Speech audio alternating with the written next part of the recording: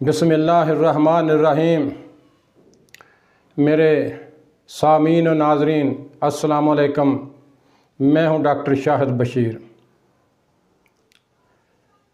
आज जो मैं आपके सामने एक चीज़ शेयर करने जा रहा हूँ, वो है सेहत के क़्याम में, मालिश के किरश में।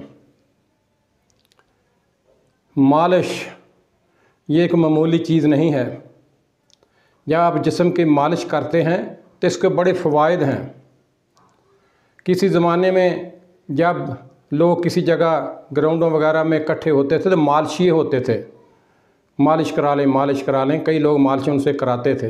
ये मालिश के सेहत के लिए बड़े फ़वाद हैं। आज मैं ये इसके जो फ़ायदे हैं वो आपसे, आपके सामने रखने जा रहा हूँ। ताकि आप इसकी तरफ़ भी थोड़ी सी तवज्जो दें क्यों मालिश भी हमारे माशरे में तकरीबन ख़त्म हो चुकी है।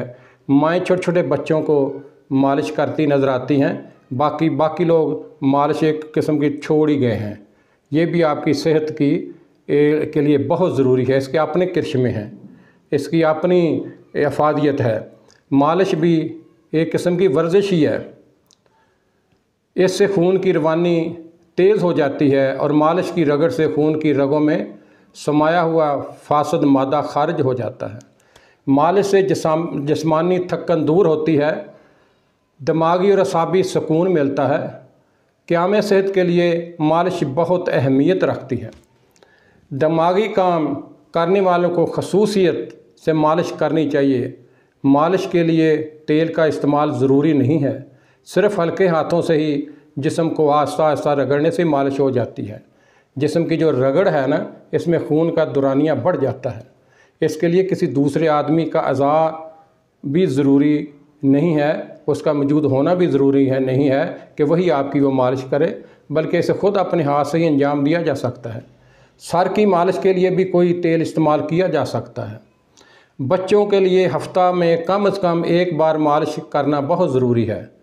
ख़ास तौर पे छोटे छोटे जो बच्चे हैं ना नौमौलूद बच्चे, ये दो, तीन साल, चार साल तक इनकी माएँ जो है ना, इनकी मालिश करती ये बहुत ज़रूरी है इनके जिस्म के में ताकत आने के लिए, इनके जिसम की बढ़ोतरी के लिए। इसके लिए मूंगफली का तेल या जैतून का तेल बहुत मुफीद है। बच्चों के कमज़ोर सीने मालिश से बहुत जल्द ताकतवर हो जाते हैं। कमज़ोर बच्चों के लिए मालिश एक नेमत है। जिन बच्चों का सीना बहुत कमज़ोर हो इनके सीनों की मालिश रोज़ाना की जानी चाहिए, लेकिन हल्के हाथों से, प्यार से, मोहब्बत से। मालिश हाथ की थैलियों से आस्ता आस्ता की जाए और बच्चे के सीने पर ज़ोर से नहीं की जाए, उस पर बोझ ना डाला जाए, क्योंकि सीना बहुत कमज़ोर होता है।